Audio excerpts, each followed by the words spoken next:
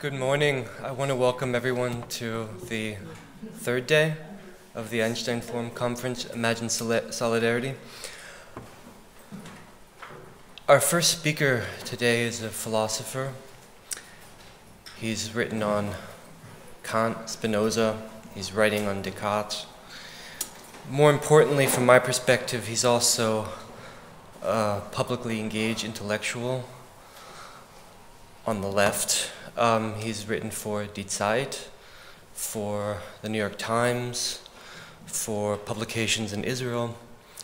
And in particular, I want to point out an article he wrote last year in September on Trump and democracy, which, alas, proved absolutely prescient about the developments, especially regarding Trump's um, abilities as a bullshit artist. I want to welcome Omri Boehm to the Einstein Forum.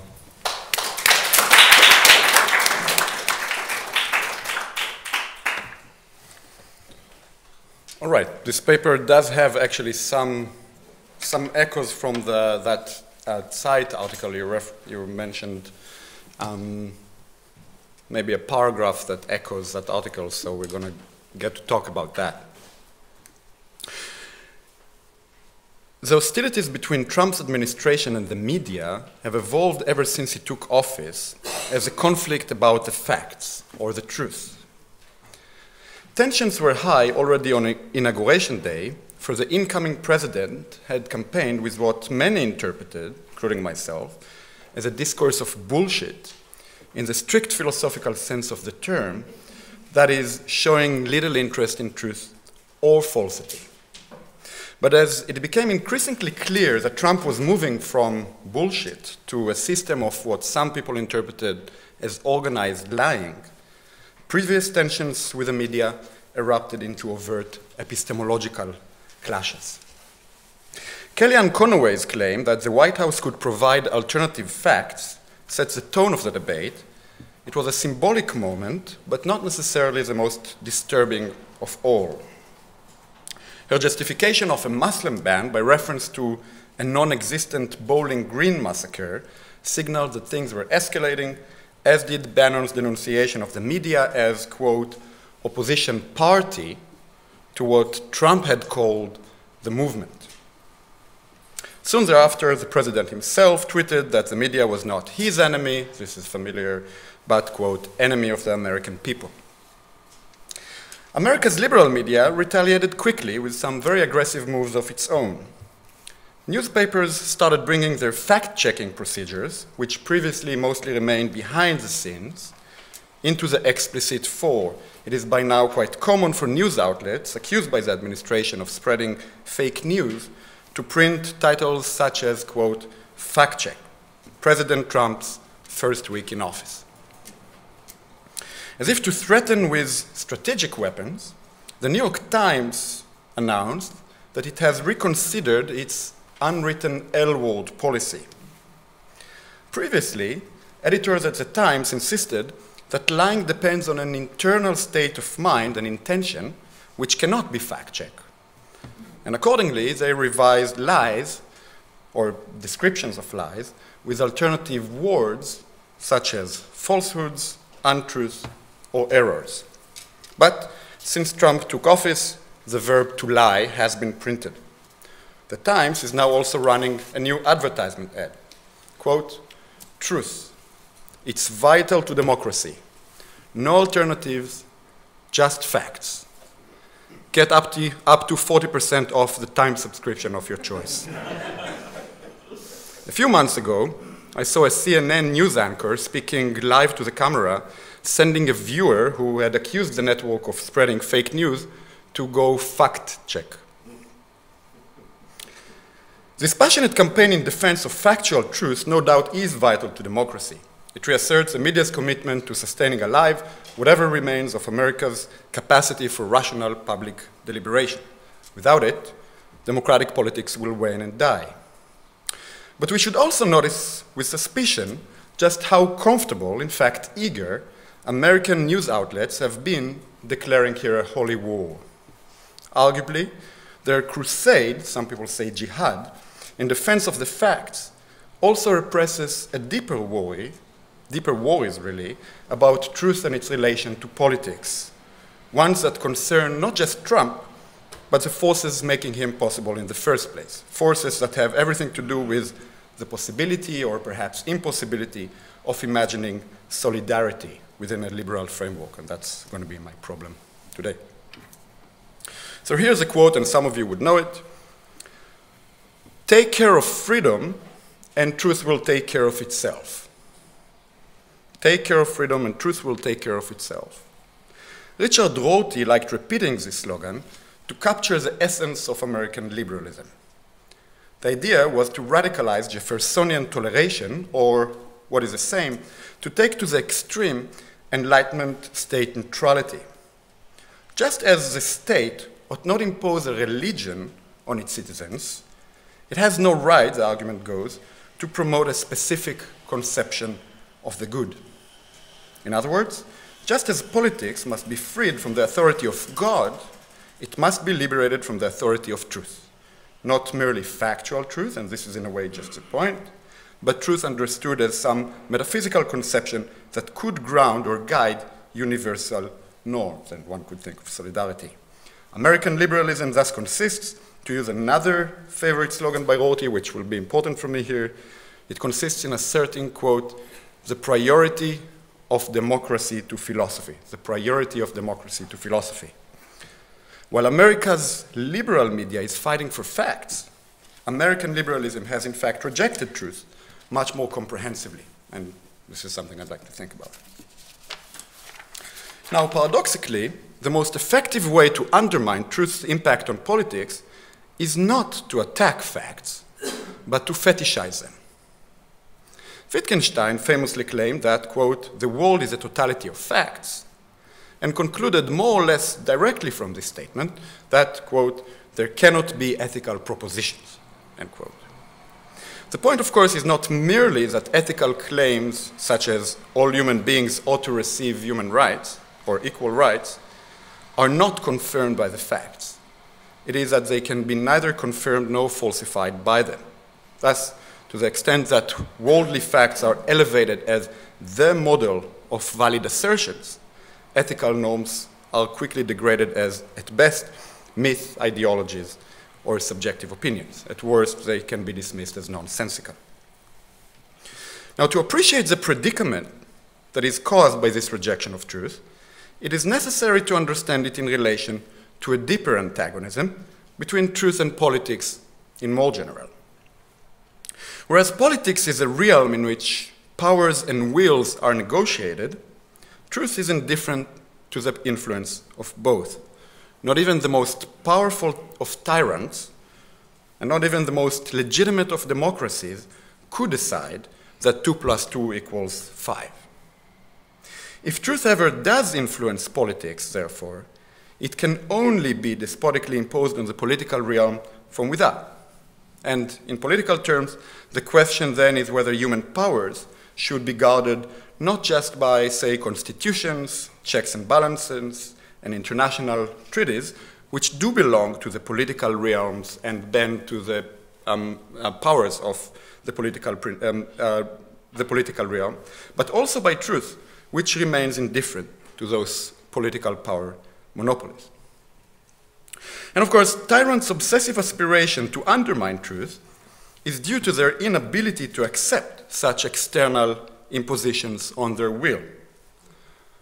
But before we get too comfortable with the obvious current association, we must notice that not just Trump, but liberalism itself, certainly as Rorty understood it, but perhaps not only, relates to truth like tyrants do, by refusing to recognize its authority over the will, in this case, the people.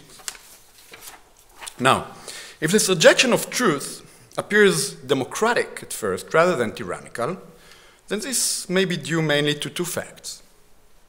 First, that we do not quickly think or we're not ready to believe that democracy can be tyrannical in some way. This will be problematic later on in the talk. And second, because we are accustomed to thinking here of, say, Stalinist ideology or Nazi science as the paradigmatic historical examples in which truth were imposed on a public.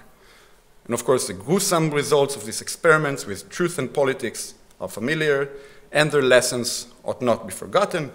But with Trumpism looming in our future, and with global politics and worldwide crisis urgently reintroducing questions of universalism, we should begin to realize that there is another side of this coin. That the people's will, too, if it isn't censored by truth external, and precisely in this sense metaphysical and perhaps not democratic authority, can become tyrannical. Tyrannical, moreover, in a way that would undermine our ability to imagine solidarity worthy of the name. Rorty has been treated recently as the prophet of, current, of our current democratic predicament. I don't know if people have noticed this, I suppose everybody has. I think, if anything, he is a false prophet here. That's really the reason why I'm giving this paper. A thinker who may have grasped the current predicament better, I think, is Tocqueville, who claimed early on that American democracy and the doctrine of, quote, equality applied to mind in a way, that's just the doctrine of the priority of, democ of democracy's priority to philosophy. We'll talk about that. Would lead to the tyranny of the masses. I will speak of Tocqueville later. It was always irresponsible to think it possible to take care of freedom without taking care of truth. By now, it should be sufficiently clear that the truth will not take care of itself. Consider this proposition. We hold this truth to be self evident that all men are created equal, that they are endowed by their Creator with certain unalienable rights, that among these are life, liberty, and the pursuit of happiness. Why do we believe in the existence of this truth? Truths, moreover, that are self evident. According to the Declaration of Independence, our inalienable human rights were given to us by our Creator and earlier in the text, the founding fathers had appealed to the station given to us by nature's God. But of course, from the perspective of modern political science, from the perspective of modern liberal doctrine, this appeal to God and metaphysics is futile. German basic law, if we want to go there, refrains from turning to God as a grounding principle. It only states in the preamble that Germans are, quote, conscious of their responsibility before God and man. It's not a grounding principle here. But this elimination of God from the equation is done in a characteristically modern way, that is, by pretending that simply disregarding the Almighty would be sufficient to achieving humanist ideals. The truth, I think, is that we have never managed to vouch for universal human rights in sensible modern terms. One common strategy has been to appeal to nature rather than to God. On this view, human beings have inalienable natural rights. But in order to accept this alternative, this alternative, one must ascribe to nature qualities that science tells us it doesn't have. Blind evolution, the source of anything we might call human nature, certainly cannot be the source of normatively binding inalienable rights. To go back to a, the talk yesterday, rights that entail duties. Nietzsche, I think, is the most consistent naturalist philosopher after Darwin.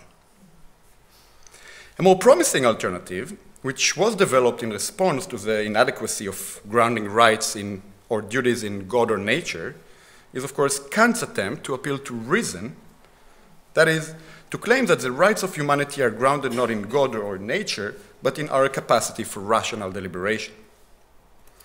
However, in order to uphold this position, one would have to defend a metaphysical conception of reason, that is, an account of rationality that transcends its reduction back to naturalist, blind naturalist explanations. And while Kant himself did defend such a conception, a metaphysical conception, current liberal political thinking prides itself for being post metaphysical. John Rawls' dominant formulation of justice is famously political not metaphysical. I will return to this. And of course, Habermas just recently reaffirmed his early familiar slogan, according to which, quote, we have no alternative to post metaphysical thinking. Now, while it may well be true that we do not have such an alternative to post metaphysical thinking, it is also true, I think, to speak with Kant, that, quote, every theory of justice must contain a metaphysics, and without the theory of justice, there is no theory of the state, end quote. The world, the world is now facing the refugees, I think, with this predicament. We're trying to find room for the refugees somewhere between Habermasian or Rawlsian post metaphysics and Kant's insistence that only metaphysics could ground universalist claims. And this seems to me to be at least part of the problem of, you know, we can speak about rights very comfortably, but it's very difficult to then make them binding duties. Modern liberal thinkers can meaningfully speak about the state as an instrument for defending the, in, the interests of its citizens. When they speak about the state as defending justice or universal inalienable human rights, they are missing the necessary vocabulary. Rorty would say, and I think that we must appreciate his challenge here, that they are merely attempting to, quote, enjoy the benefits of metaphysics without assuming the appropriate responsibilities, end quote. Consequently, it has been more comfortable in the present context, think of the refugee crisis, to appeal, consciously or not, to some extra commitments generated by the German past. But this evades the more general and urgent question of the refugees' actual political claim. Here lies a subtle but pernicious fallacy, I think. While it is true that German history may and probably does generate special commitments to human rights, the problem is precisely that we do not quite know how to think of these rights in political terms.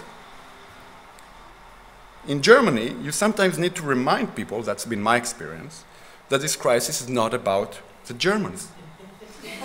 Whatever the duties there might be, the German duties, this crisis is about the refugees and their claim.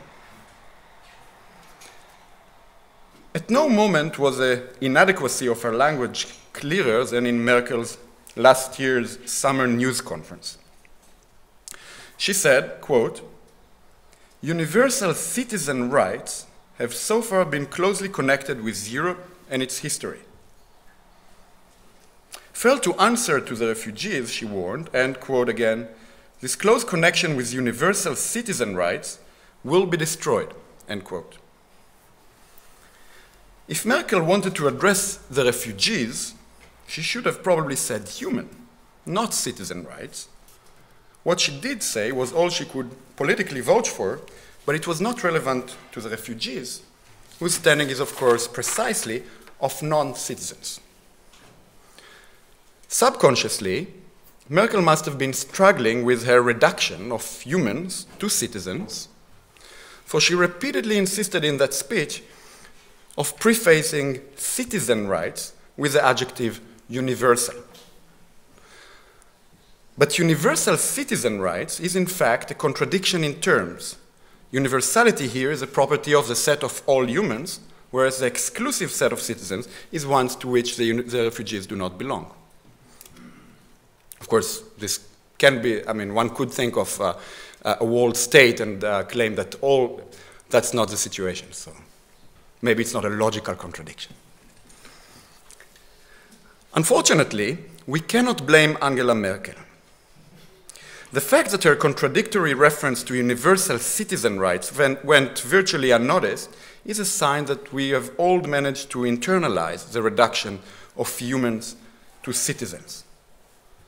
And most of the time, for most of us, this quandary is easily contained. We are all citizens of states our rights are protected by those states. So the metaphysical confusion remains an academic problem, academic precisely in the derogatory sense of the term. But clearly, under some circumstances, an academic metaphysical question can make comeback as an urgent political one. In a short article from 1943, We Refugees, Hannah Arendt warned that the one fate more dangerous, this is 1943, the one fate more dangerous in the world than being a Jew is being a human being.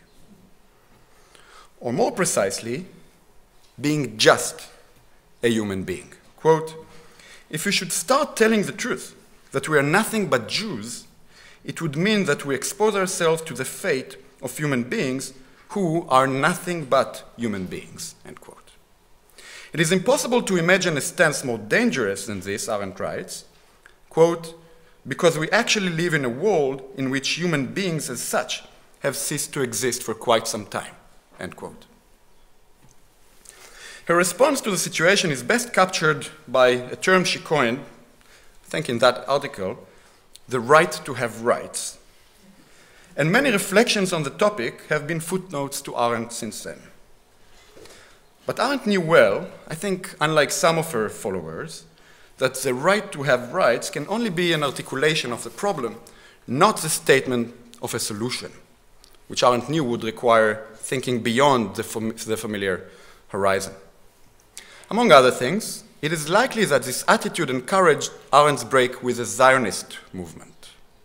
The point is this whereas she wanted to address the Jewish refugee crisis by learning to address the Jewish refugees as human beings with rights, Zionism preferred to fall back on the old political categories to secure the Jews' rights by making them citizens of their own nation state. So this was uh, um, in that sense, for her, not an adequate, could not be the adequate solution of the genuine problem. I have here, I'm going to skip here a part of the paper where I deal with, say, Rainer Forst, who I think is trying to uh, give an account of the right to have rights, and I think is um, uh, moving between precisely um, a position that's very metaphysical, but pre pretends that it isn't, and for that reason cannot really um, um vote for the right to have rights. I think that Arendt did not try to do this. Um, she realized that there was a problem. She was not offering a solution. The inability of liberalism, which in this view can only be post metaphysical, to answer universalist demands is especially complex because once truth is excluded from politics, patriotism quickly replaces it as the anchor of public norms. That is, instead of justifying political agendas by reference to metaphysical grounds that could sustain universalist humanist aspirations, God, nature, reason, language, you name it, liberals vindicate their position by reference to their own practices. Speaking with Rorty, they justify norms by reference to something, quote, local and ethnocentric. I'm still quoting their own national pride, their own community and culture, end quote. For such liberals, what counts as politically acceptable or gets excluded as obscene can only be vindicated by reference to the, quote again from Rorty, body of shared belief, which determines the reference of the word we. I'll read it again, it's going to be important in the following. The body of shared belief, which determines the reference of the word we. Significantly, Rorty's words here could have been Rawls just as well. Notwithstanding the familiar notion of the veil of ignorance, supposedly you do not know who you are behind the veil, insofar as Rawls did not aspire to provide a transcendental deduction of American liberalism, but promoted a conception of justice that is political, not metaphysical, he could only furnish a conception that begins with a we and is relevant to us. Here is a quote from Rawls. Since justice as fairness is intended as a political conception of justice for a democratic society, it tries to draw solely upon basic intuitive ideas that are embedded in the political institutions of a democratic society and the public traditions of their interpretation. Justice as fairness is a political conception in part because it starts from within a certain political tradition. We hope that this political conception of justice may be at least supported by what we may call overlapping consensus. That is, by a consensus that includes all the opposing philosophical and religious doctrines likely to persist and gain adherence in a more or less just constitutional democratic society. There's hardly a bolder expression than this of the idea that democracy is prior to philosophy, because this priority is articulated here as Rawls' very method. He continues in the same essay, quote, philosophy as a search for truth about independent metaphysical and moral order cannot provide a basis for a political conception of justice in a democratic society, end quote. Instead of searching for some independent truth, Rawls then recommends that we collect, quote, basic intuitive ideas and principles, basic intuitive ideas and principles that are implicit in our convictions and organize them into a, quote, coherent conception of justice. Slightly more specifically, the method Rawls prescribes here is that of reflective equilibrium, which, in a sense, has come to define, I think, the liberal refusal to let truth influence politics. Instead of making universalist metaphysical claims about, say, the rights of humanity, we justify norms to ourselves against our own local assumptions, against the backdrop of what gives meaning to the reference word we. The crucial point here, I think, is the dependence of reflective equilibrium on the idea of theoretically accommodating our intuitions. The notion of intuitions here is important. Rawls sometimes uh, speaks about considered judgments rather than intuitions, but um, I will not go into that here. And also, um, in the paragraphs I um, quoted, he does speak about intuitions explicitly. Very generally speaking, the idea be behind the method of reflective equilibrium is to begin with our intuitions about cases and principles. What are your intuitions about justice? What do you think about this or that thought experiment? And revise conflicting intuitions and intuitions about principles in order to accommodate the most intuitions you can and the ones that are the most basic. But the point here is this the intuitions themselves, this is really just the point now, are your intuitions, depending, say, on your common sense or your ordinary language, which is just another way of saying that your intuitions begin with what you believe in because of who you contingently are, given your contingent history. Here's a comment by Timothy Williamson about the reliance of intuitions in philosophy. He speaks also of um, the, their use in both theoretical and um, political philosophy. Quote, Philosophers' uncritical talk of philosophy as relying, for better or worse, on intuitions often manifests the misconception that our evidence in philosophy consists of psychological facts about ourselves rather than facts about the philosophical topic itself. End quote.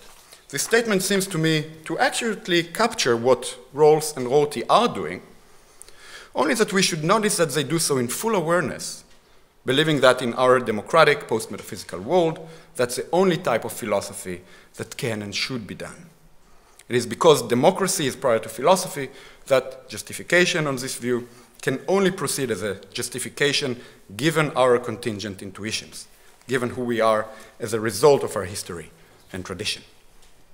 Now, it is customary in some circles, very prevalent, the ones I circle in certainly, to ridicule Descartes' non historical, bodiless, abstract res cogitans, the thinking thing, and Kant's abstract um, uh, thinking subject, um, as in fact the standpoints of white, Western, colonialist white men. The same accusation is then often raised against Rawls, and specifically against his veil of ignorance the only people who can afford putting themselves behind the veil, the argument goes, are white men, now metaphorically conceived, that is, those who have the power to, um, to go abstract, to become neutral in that sense. Now, I'm personally less attracted to the uh, charge against Descartes and Kant, even though I think it does have a bite once in a while.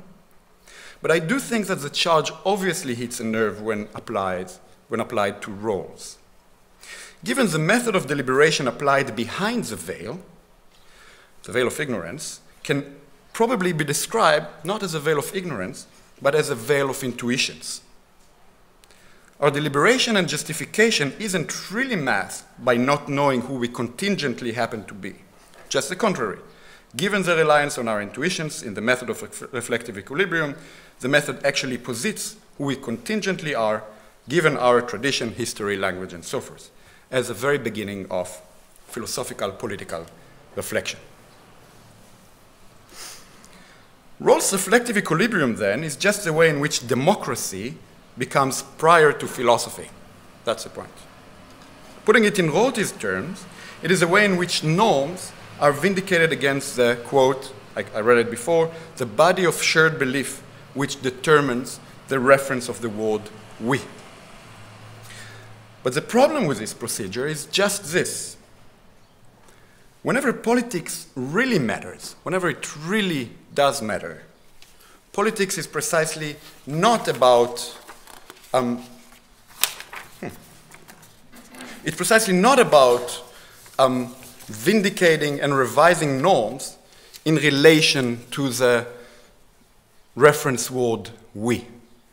Whenever politics does matter, it proceeds as a debate and often the war over who would get to utter this word successfully. Right? The Civil War is the most obvious example of this. And so far as this debate or this war begins with a we rather than ends with it, in so far as this debate cannot fall back on a prior external authority, in this sense not a liberal authority, of universalist conceptions of humanism or justice, this liberal we can only become exclusive and tyrannical. And I'll say a word about why exclusive and why tyrannical those are. Harsh words, perhaps. In a short essay from 1996 bearing the title, Who Are We? Rorty suggests that the title's question must replace the essentialist, metaphysical, he says Kantian, question, What are we? as the fundamental question of philosophy. Who are we is philosophy's fundamental question, he says, because it is the one that, quote, has always already been answered whenever all other questions are answered, end quote. Rorty does not explicitly say so in this essay, but given that what are we, of course, is not an available question here, who are we can only be answered by the same method in which all other questions are answered. That is, by drawing on our intuitions, or, in other words, in relation to the, quote, body of shared belief which determines the reference of the word we. But that's the most accurate, perhaps ultimate expression of the way in which the we for Rorty is assumed at the beginning of the political philosophical debate rather than in the end of the process. It is always already to us that we will answer the question, who are we? Not to any larger, even external group of people that might demand to participate in our conversation. In this sense, strictly speaking, Rorty's claim that the question, who are we, is the fundamental question of philosophy, because it is a question that has always already been answered whenever all other questions are answered is false. Given that democracy is prior to philosophy, there is an answer that had been given before the allegedly fundamental philosophical question has been answered. The who are we question is not the one that has already been answered whenever all other questions are answered. It is the one that has been answered whenever all questions are raised, including this one who are we? And as said, in the crucial political moments, for those who are not part of this we, this exclusion, exclusion will have crucial implications. Here are a couple of very frank quotes from Rorty. I really think he's the most honest philosopher, one of the most honest philosophers um, I read. Um, a couple of frank quotes from Rorty from the same essay, Who We Are. Quote, Suppose that there is no imaginable way to make decent life changes available to the poorer 5 billion citizens of the member states of the United Nations while still keeping intact the democratic socio political institutions cherished by the richer 1 billion. Then they, the latter, the 1 billion, will begin to treat the poor and unlucky 5 billion as surplus to their moral requirements, unable to play a part in their moral life. The rich and unlucky people will quickly become unable to think of the poor and unlucky ones as their fellow humans, as part of the same we. And Rorty continues, quote, those who make the decision about feasibility, right, so the we, those who make the decision about feasibility are answering the question, who are we, by excluding certain human beings from membership in we, the ones who can hope to survive. When we realize that it is unfeasible to rescue a person or a group, it is as if they had already gone before us into death. Such people are, as we say, dead for us. Life, we say, is for the living. End quote. Bearing this quote in mind, it is illuminating to confront Rorty's 1996 title, Who Are We? With Arendt's 1943 title, We Refugees.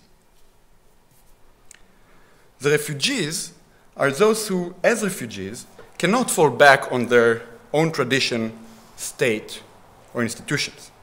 They cannot say, we Americans, we Germans, we Israelis, but neither can they meaningfully say, the argument goes, we humans, and expect this to entail duties for others. This would involve a metaphysical fallacy, an attempt, Rorty would say, to, quote, enjoy the fruits of metaphysics without assuming the corresponding responsibility. As Arendt put it in her essay, the main problem with being a Jew in 1943 was that, as a Jew, you were only a human being. That was a quote, right? And we live in a world in which human beings have ceased to exist for quite a while. Now, I used the word tyranny with, with um, respect to reflective equilibrium, and that's perhaps not so nice. Um, but I do want to use it because I think that the allusion to Tocqueville is worth the note.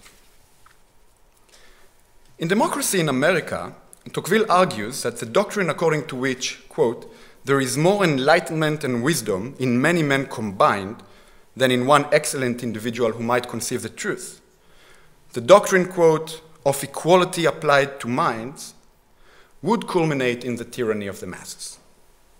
As a passage from Democracy in America, which would be incorporated in 1943, in 1944 into the dialectic of enlightenment, um, captures this. Here's a quote Chains and executioners, those are the crude instruments formerly used by tyranny. But today, civilization has perfected even despotism itself monarchs had materialized oppression. The democratic republics of the present day have rendered it an entirely affair of the mind. They have rendered it an entirely affair of the mind. Under the absolute sway of one man, the body was attacked in order to subdue the soul. Such is not the course adopted by tyranny in democratic republics. There, the body is left free and the soul is enslaved. The question is this how does, for Tocqueville, oppression becomes an entirely affair of the mind within a democratic society? And Tocqueville's answer is elevating equality as a norm in the sphere of thinking entails that the majority's standards of judgment would be enforced not by physical threats, but with normative and even moral authority. This, I think, is just the doctrine of equality applied, sorry. But what is the doctrine of equality applied to minds, if not the idea that democracy is prior to philosophy? And how does censorship become an affair impacting directly the mind, if not through the method of reflective equilibrium? Subjecting all justification to our own contingent intuitions, the claim that we cannot do anything else is just the way in which the majority's standards of judgment, their common sense, receive normative force. We may accept or reject Tocqueville's analysis, this can be debated, but if I'm not mistaken, reflective equilibrium is the deepest expression of what he meant when speaking of the tyranny of the masses.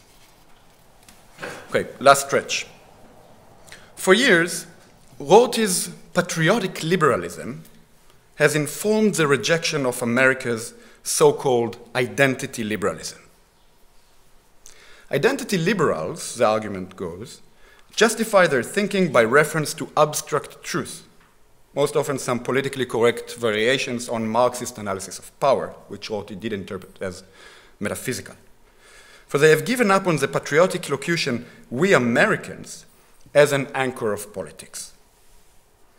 As a result, instead of promoting pragmatic political agendas that could answer to the urgent needs of America's middle class, those people retreat, Rorty would argue, to the spectator's armchair, to sophisticated philosophy and not really philosophy, comparative literature departments, deconstructing American society into an infinite celebration of difference.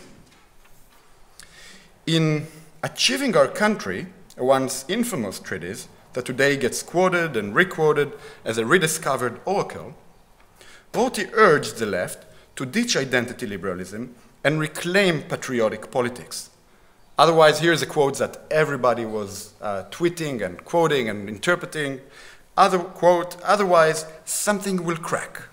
Americans will start looking around for a strong man to vote for, someone willing to assure them that, once he is elected, the smug bureaucrats, tricky lawyers, overpaid bond salesmen, and postmodernist professors will no longer be calling the shots. It hasn't been sufficiently noticed, I think, but these patriotic liberal oracles served, among other things, the, as a metaphysical foundation of Mark Lilla's controversial New York Times intervention, the identity, the, the end of identity liberalism. And I think we may want to think of identity liberalism as a form of solidarity liberalism. Hillary was, quote, at her best, Lilla argued, when she spoke, I'm still quoting, to Americans as Americans about our understanding of democracy. When she slipped into the, quote, rhetoric of diversity, calling out explicitly to African American, Latino, LGBT, and women, women voters, she handed over the country to Trump.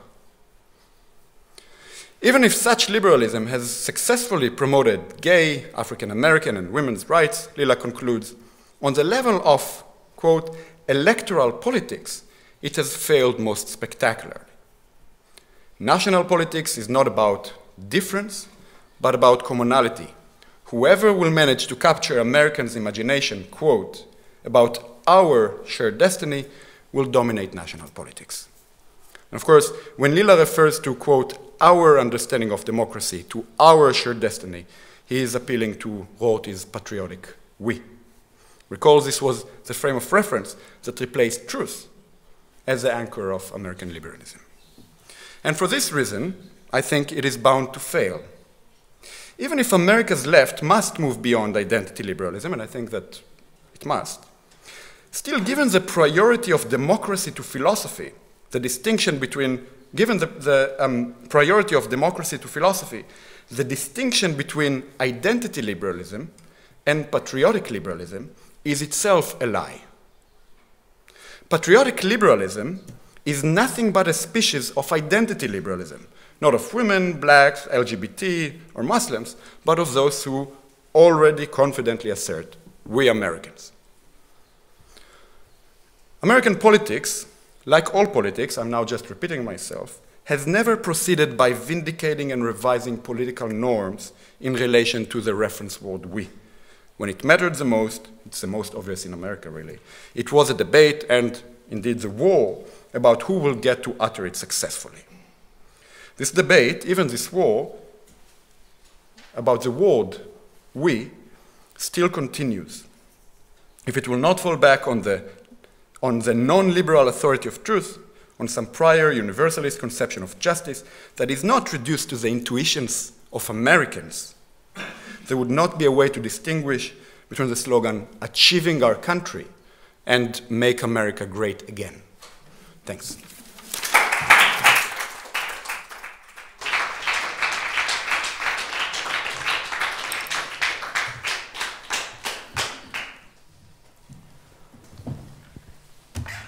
Questions?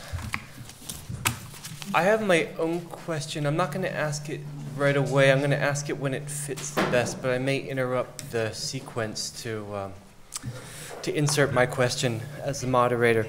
But I think I'll start. I think I saw Philip first, or was it? I, okay. So, um, so Sorry. Thank you very much, Omri. I detect Uh, it's a very interesting and richly and richly um, organized and referenced paper.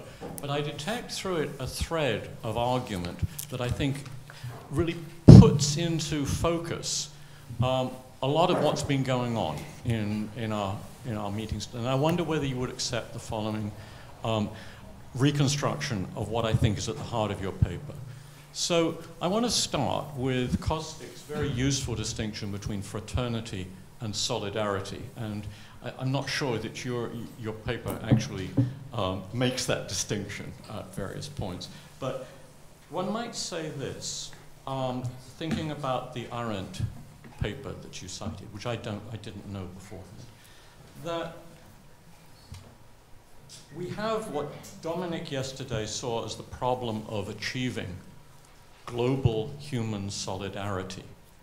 And we might think of that as coming from one of two routes. One route is by extending the forms of fraternity that we have so that they become universal.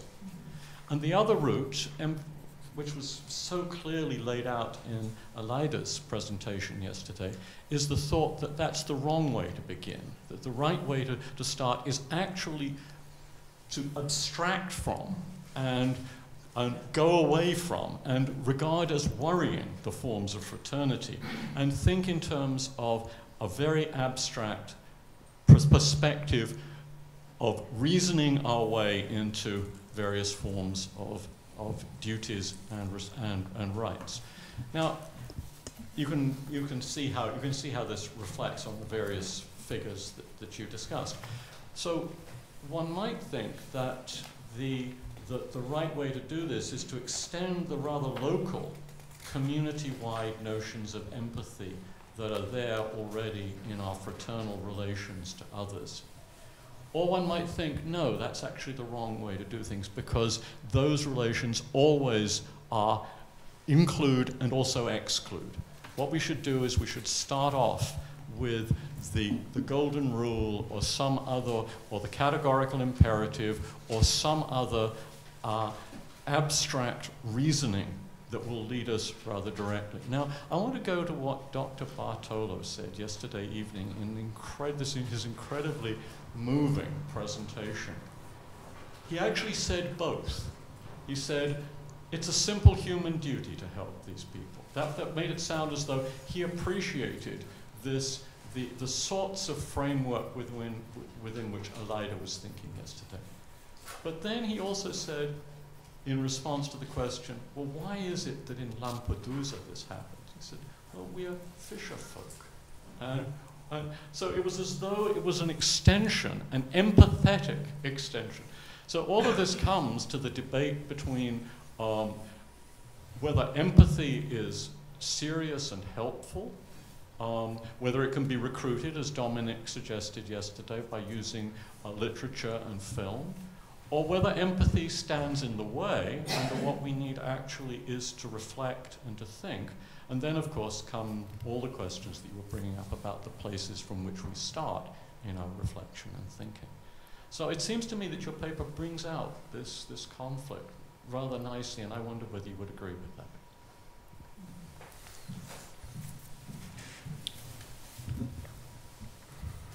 I'm not sure that I can uh, relate to everything that you said. I picked a few, uh, a few points along the way that I can comment on. I'm worried about, um, for example, the so the, the, the fisherman point, right? Think about the fisherman point. The reason why we help the refugees is that we're fishermen and we know that experience. I come from Israel, um, the place that was supposed to solve the problem of the Jewish refugee uh, problem. Try to make the argument we know what's it like to be stateless. Um, because of that, we ought to um, I mean, forget accepting refugees, but uh, ending the occupation.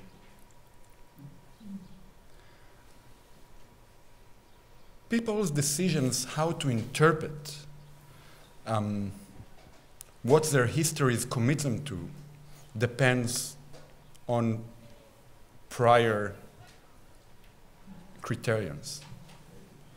And I think that without the universalist criterion binding you to have a certain interpretation of what your history commits you, um, each interpretation can, I mean, each history could run a different, a different way. This is really the last uh, word in my paper, right? Uh, achieving our country can also be um, make America great again. Um, some people interpret uh, Jewish history here as uh, saying it will never happen to us again.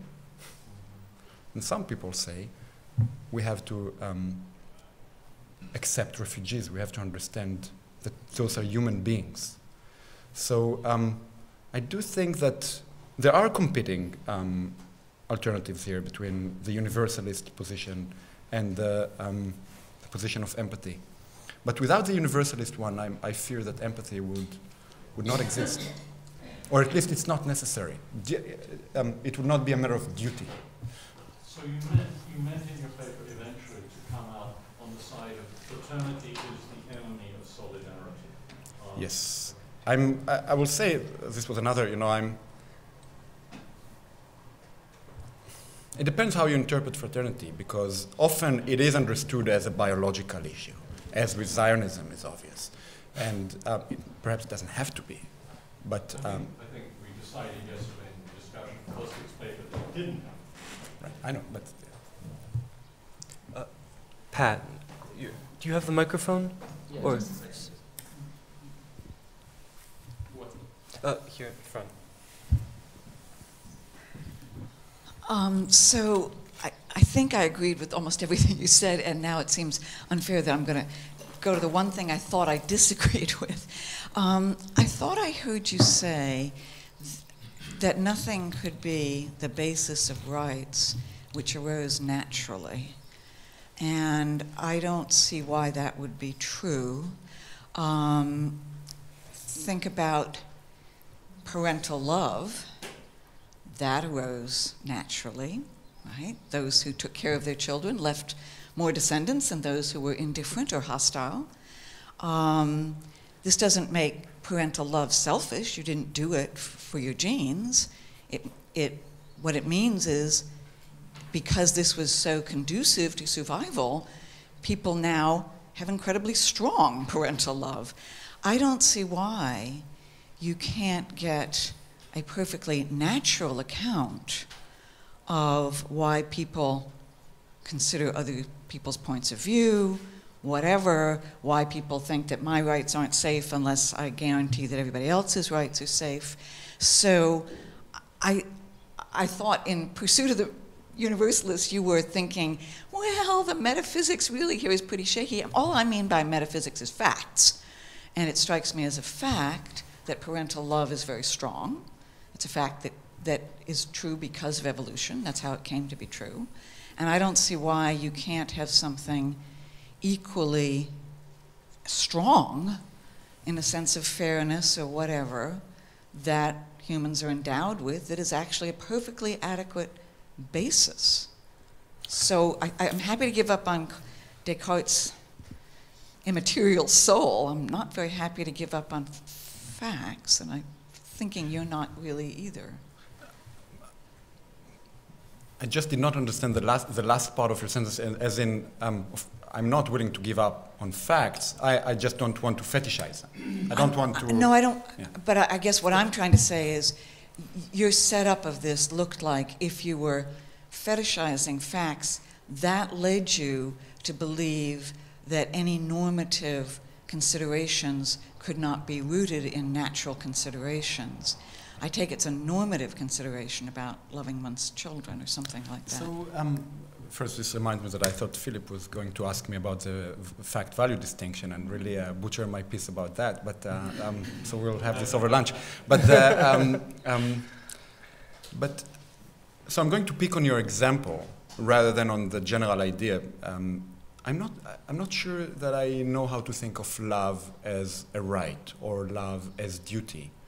Um, it, is, it may well be possible that um, parental love um, originates with uh, nature, but that might be just one expression, I don't think the only one, of the way in which um, love cannot be spoken about as a duty um, or a right. Um, you cannot say, I don't know, I'm now a father, I don't, you cannot say that I have a duty to love my son.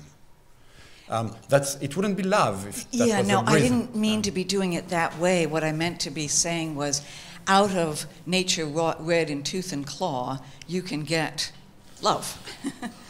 and so I don't see why you can't get a normative basis for rights. I didn't mean to say love was a normative basis for Right. rights. I meant to say, I don't see why you can't get senses of justice, senses of fairness. Senses, yes, but duties in a good old Kantian sense, as in binding duties, if, Yeah. uh, it's reducible to nature. Yeah. I think you could. Anyway, I Yeah, won't. well, we'll Yeah, we'll chat more. Rainey, you had a question, Rainey, right? I, okay. You know, it follows very hard on the heels of, of Pat's, which is to try and. I, I'm interested in your views on a form of intuition which is certainly contingent because we can prove that it's historical, but it is, unlike most contingent intuitions, it is not the result of our current experience, contingent in that sense, but rather the result of a vision of a world that does not yet exist.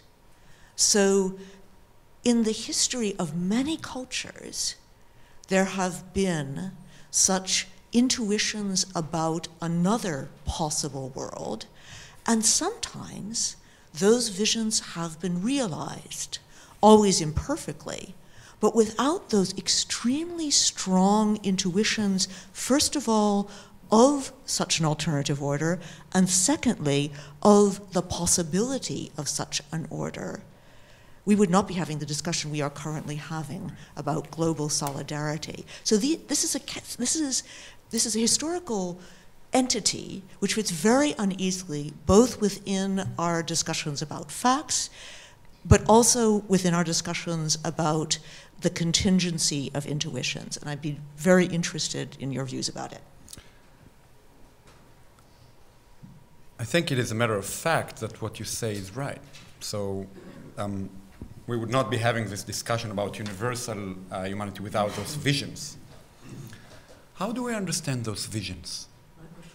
Are they, are there, I, I think I know the answer.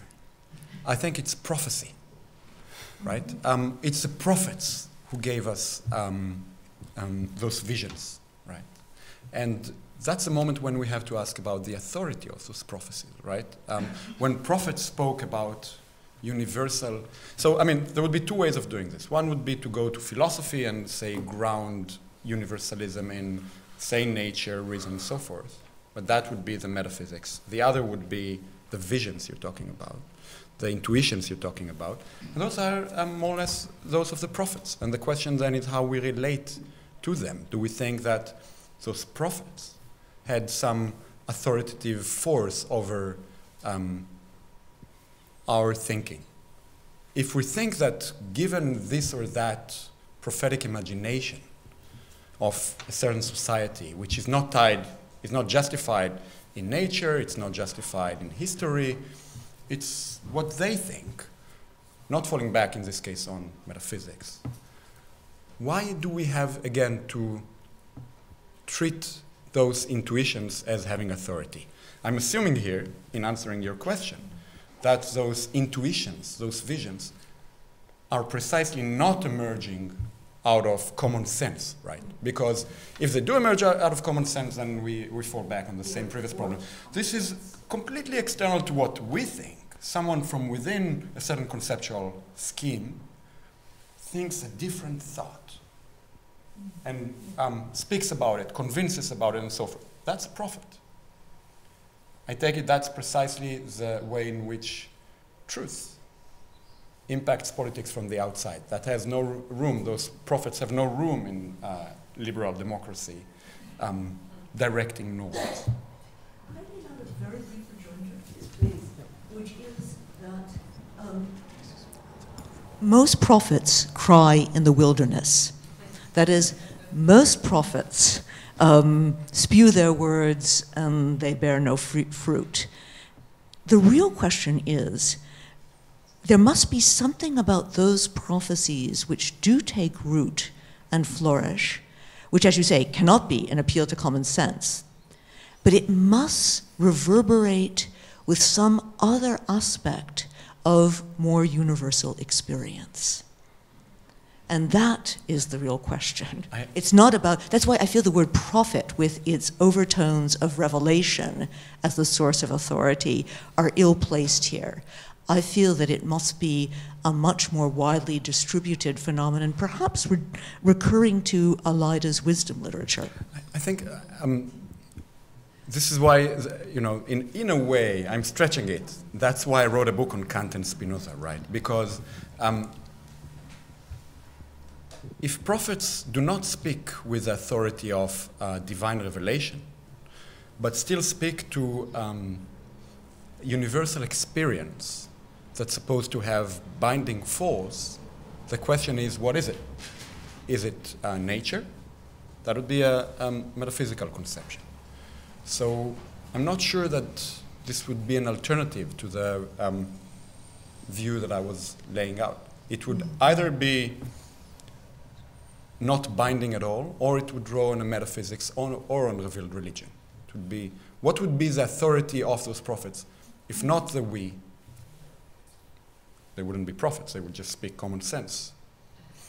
Or nature, say. I have the extremely um, unfortunate role of saying that we have a lot of questions and little time. Um, so I'd like to collect brief questions, three at a time. Please begin. No, you're right. I'm sorry, he, I just don't know I, your I'm, name. I'm sorry, yes. Okay. Uh, so thank you very much for this very rich paper. I have just three very short questions. One is a comment about uh, maternal love.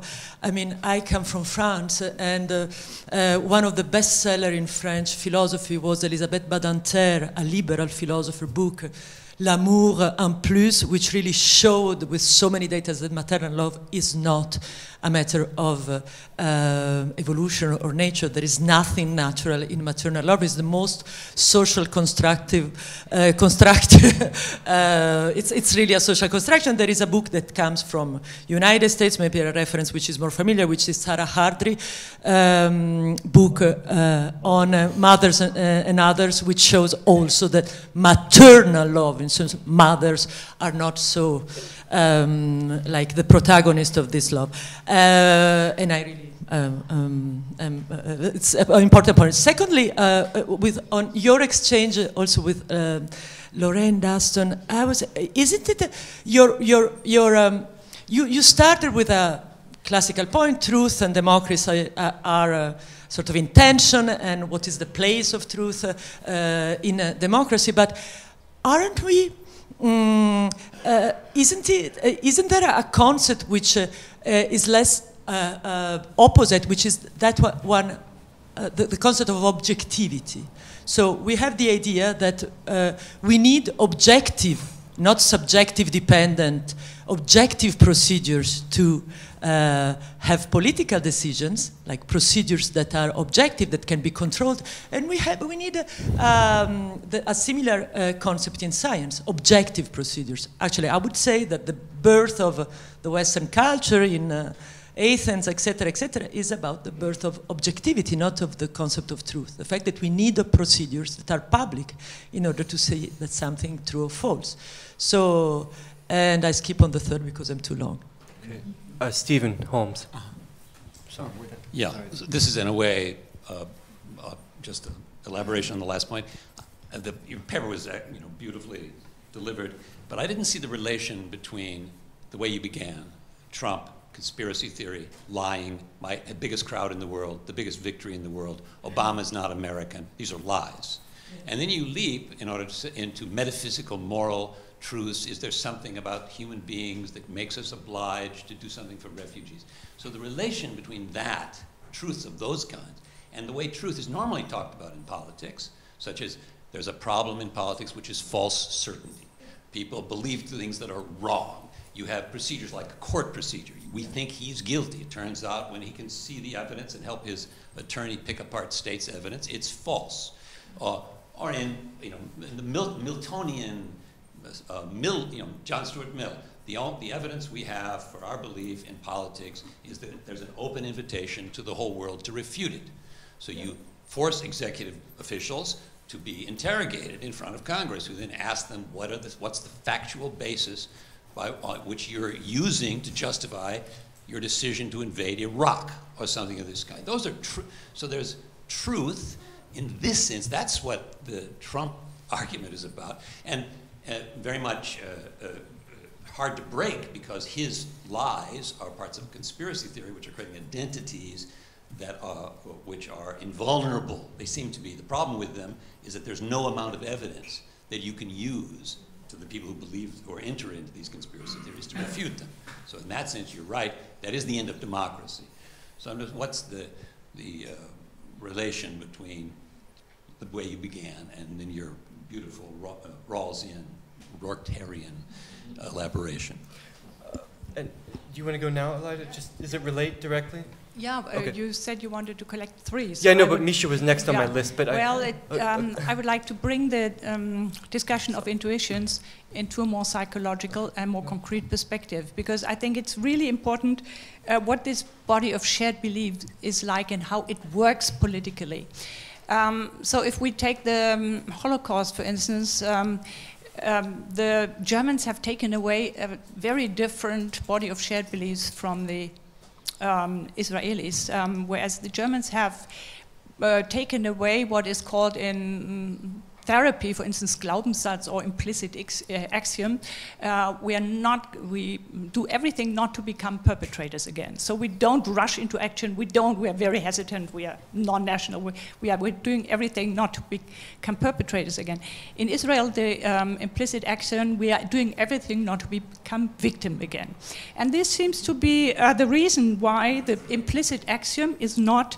We know what it is like to be stateless. This is exactly not the shared political um, belief.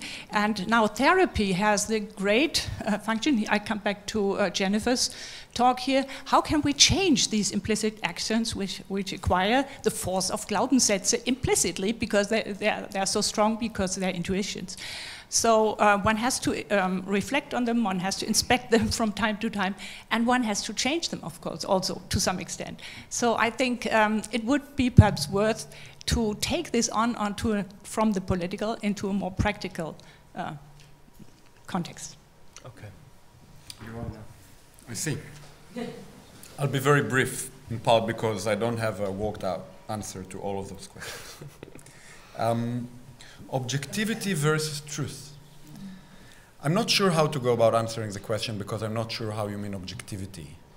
So, sort of procedure, a public procedure to check if that you have in science you right, so the um, um,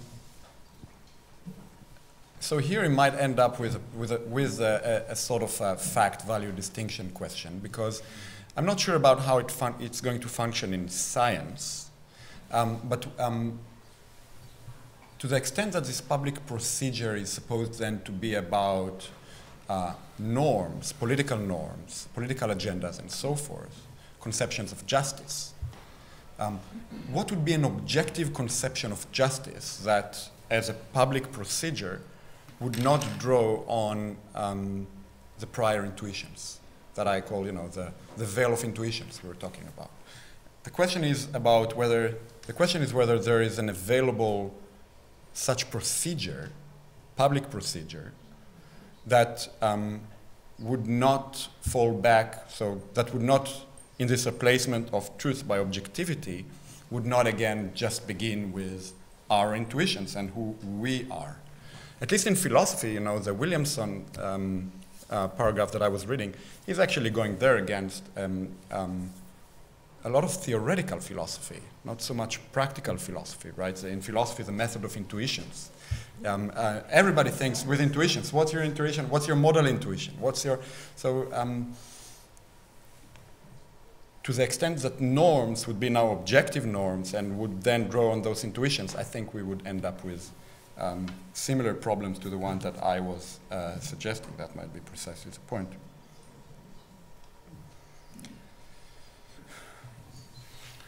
Now, Stephen re really asked me a question about um, the structure of my paper. Um, um, but it, it, became a deep question about the paper itself um, with a question, you know, goes also back to Pat's question, are you really against facts, right? Because I was um, speaking somewhat, you know, with irony about this whole crusade or jihad um, uh, that the media is now invoking to, in defense of the facts. I'm, I'm for defending the facts. I think that um, it's very important to defend the facts. I actually had a, a coy sentence saying that in the piece. Um, in brackets, I think that the text to go, uh, um, to, go to uh, in thinking of what you said and how significant the facts are for um, politics and democracy. It's not just Arendt's Truth and Politics, but her, um, The Crisis of the Republic would be the, um, the place to go. Um, I only began with this uh, introduction about uh, the media and their crusade about the facts to make one point. There's a whole public debate about defending the facts. I want to say that's a place where we're comfortable. Of course, we have to defend the facts it's possible that um, part of the urgent discussion that needs to be done is not in this debate about the facts.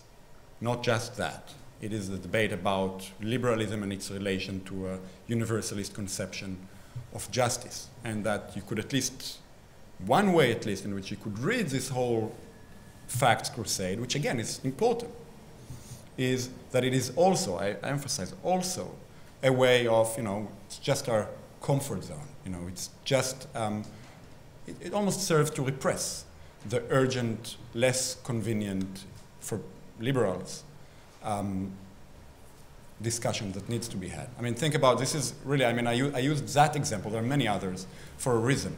Truth, it's vital to democracy. No alternatives, just facts. Get up to 40% off the time subscription of your choice. I'm not sure that the New York Times would be selling newspapers uh, by having that debate. Refugees have no contagious diseases. We heard this last night. That's a fact. Excellent. Like Excellent. strong political Absolutely. Absolutely. And people use lie that they do in order to repress the humanitarian gesture. So you think that's trivial? No, and I think it's, it's not trivial, it's crucial, and those facts ought to be defended.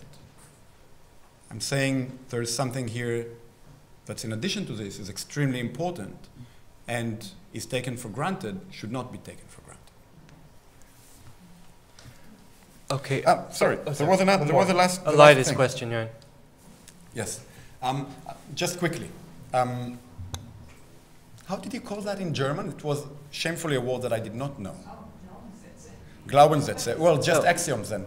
So the, there are not. The, but they're not really axioms in some logical sense of the term, right?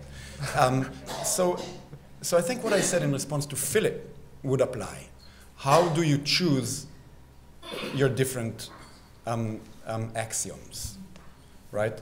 Um, I'm well aware of the different axioms that are um, operative in, say, Israeli consciousness. They're not really axioms. They need to be changed. But, but they are the axioms, and they really are axioms. This is, in a way, a good way of putting my point. They really become axioms if you begin with the dear we, um, we Israelis. They really would become axioms in that sense. And you would not be able to justify norms contradicting them, which is precisely the point. Okay, I have three final questions um, now that Misha has given up his. Um, Rudiger, Amber and Alexander, please, as short as possible. Hate to say it, but there is no other way right now. Dennis, so starting with Rudiger. Thanks. I would like to try to defend uh, Richard, the standpoint of Richard Rorty a, a, bit. And my, I think, I think I could see this coming too.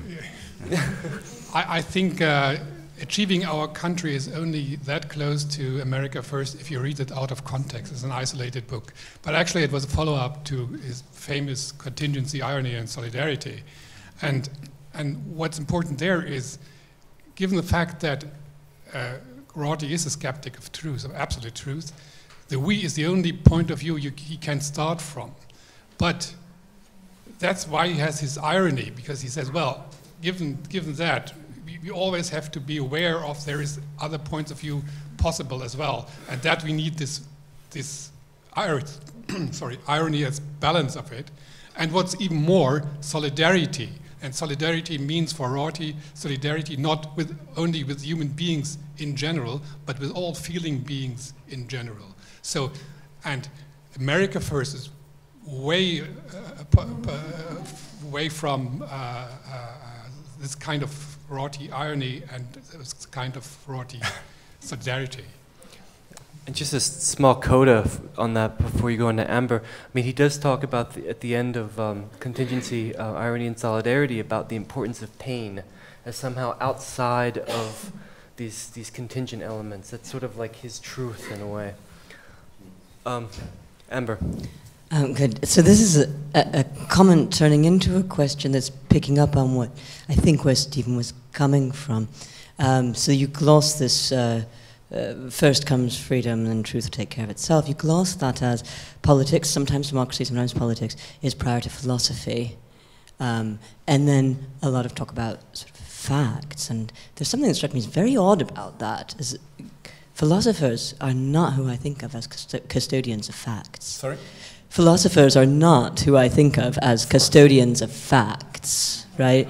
Um, and, and, but, but importantly relevant to the whole discussion is which humanists do we think of as custodians of facts? Those are historians. So if you were to gloss the Rortian slogan, as first comes politics, freedom, democracy, whatever you like, um, uh, uh, that's prior to history, then we all know we're in big trouble. When you start putting politics before history, right, we, we know the kind of trouble that we're in um, when we assert that kind of priority. Okay, so, and that's a, a sort of lead-in to this idea that if a philosopher, well, so it, it doesn't it doesn't take a philosopher to say to notice that there simply is no freedom where there are significant disparities of power, and I'm not using that with a big P or any kind of uh, loaded way. It's just as you say, a fact, there's no freedom where there's significant disparities of power. There's no freedom to speak or to think. And if you therefore postpone truth in favor of freedom, right, and you do, that is, you don't have anything to set against exercise of power in who gets to exercise their freedom. Can you then, repeat that? Can you repeat that for me? If you have nothing to set to counter against um, I'm sorry, my voice is. We have nothing to set against um, power to, to counterbalance. So it's in the exercise of freedom, something like truth, um, then you not only don't get truth, you don't get freedom either. Right? This is really the problem with uh, without freedom. Uh, sorry, first freedom and truth take care of itself. And, and it doesn't take a philosopher to say that this is a, an historian's point, in fact. Um, recently, Timothy Snyder, of course, pointing that out. Alexander, last question. Um, I was unhappy about your answer on the question of future vision and intuition. Um, I think if you answer with, that's the prophet that comes with the problem, you give up on a certain possibility that was given by Rorty himself when he was talking about the strong poets. Yes. That would have been his answer, I think, that come up with new vocabularies, yeah, that in the end uh, uh, turn out to be a different uh, way of living together. Uh, and he said something very important, and I think it's very important to imagine solidarity. He made a distinction between the beautiful and the sublime, and said the beautiful is a way to arrange things, uh, to arrange things in a way that we understand. the sublime is an arrangement of an order that we do not yet understand. So the sublime alone holds the promise to go to a place, for example, a more just world, without yet understanding how this will work. And it's very important to me because I come from the contemporary art world and I've been arguing using Rorty since 25 years that Rorty holds something very important to explain why art is politically so terribly important. So I wanted to make that point here. You didn't like my uh, answer, but I liked your question. I mean it. So, um,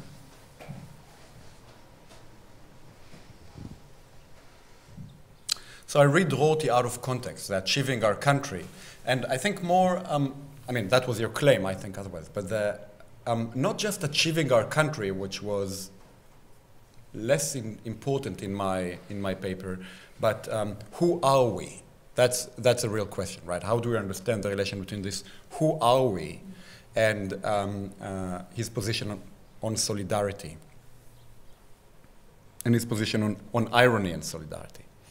Um, so I'll just I'll say this very abstractly actually my whole attempt was to do precisely the opposite of what you were ascribing to me. That is, to be reading, to be reading those somewhat more political interventions, achieving our country, who are we, and so forth, um, really against the background of Rorty's position, Rorty's and his account of Rawls, which I think is honest. Um,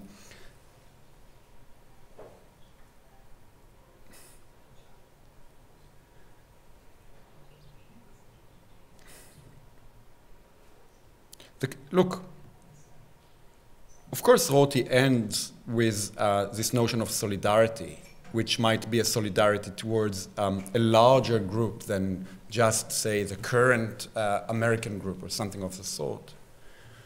But the point is, I think, and um, you will correct me in a moment because you know Rorty so much better than I do. The point is precisely that given the method, that the only method that can be available to our understanding of our solidarity, in the crucial moment, those, those are those um, um, significant paragraphs, when, um,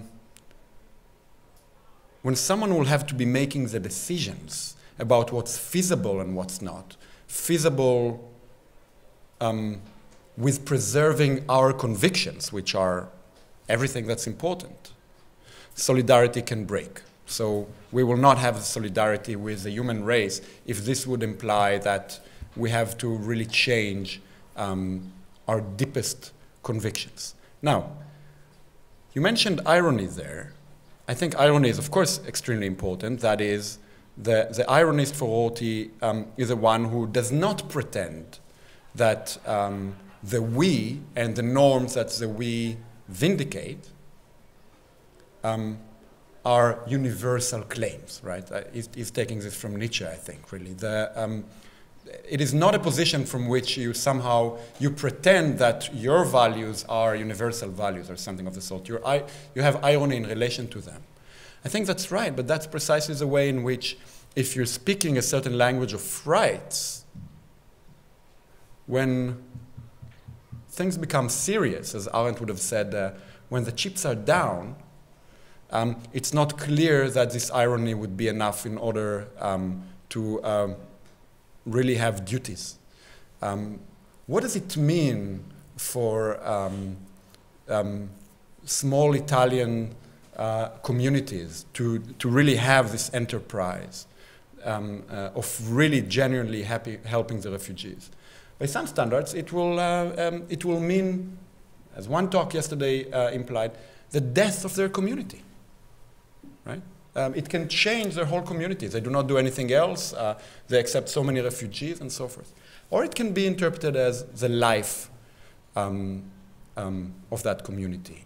I'm not sure that this irony is enough in order to bind you to actually have a duty. Where there's no duty, there is no right. For that reason, I'm skeptical about whether it's going to actually be very helpful. Um,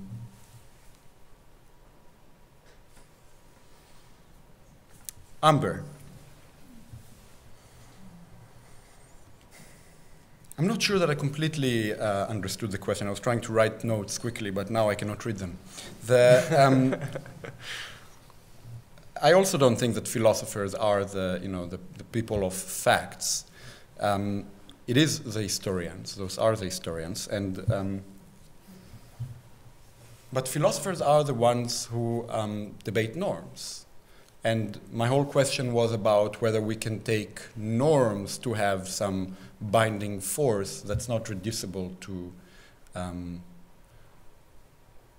that's not reducible to politics and to political manipulation. So I'm not sure. I, I completely agree that his, that historians are the ones who provide facts, and this is one conception of truth. And I completely agree that under um, some political situations, the manipulation of history uh, can be um, horrifying politically. It goes back to also uh, Stephen's question. I completely agree about that.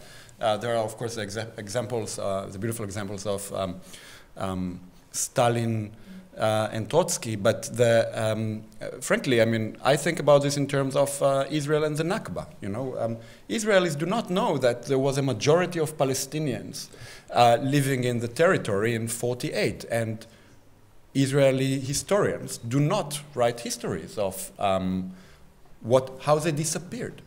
It's completely erased part of history.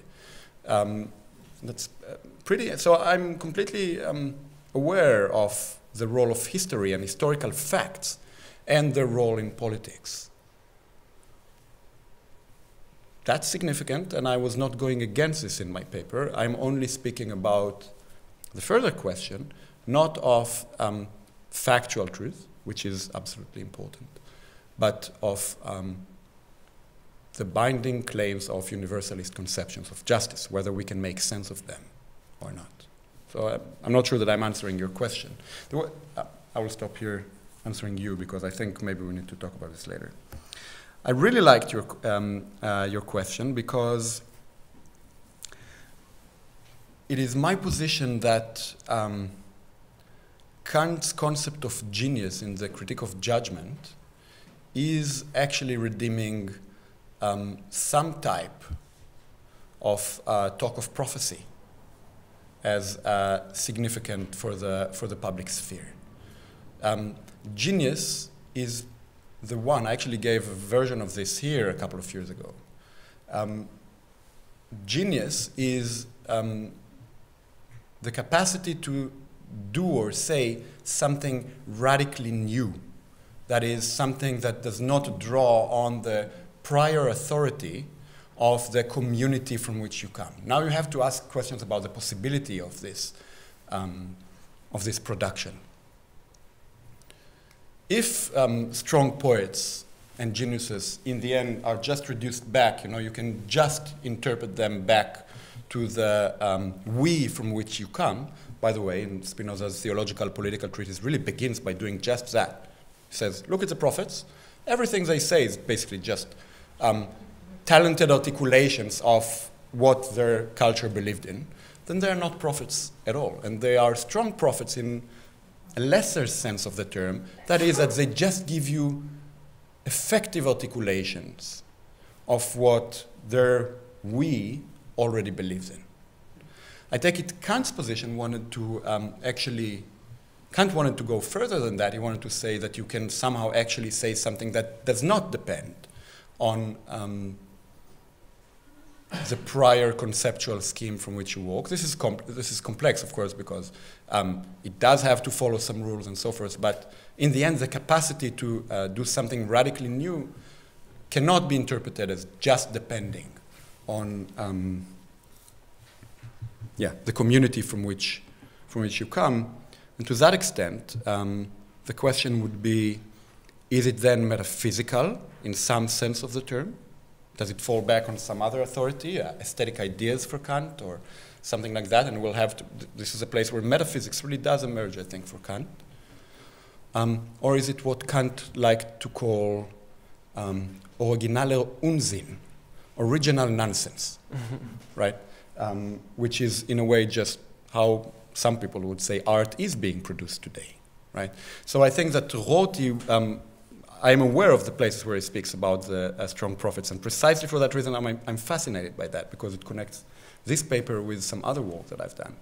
Um, I think that Rorty will also be stuck between those two conceptions, and it would be very interesting to, um, to see how to connect them. Yeah. Um, I want to thank Omri Boehm very much.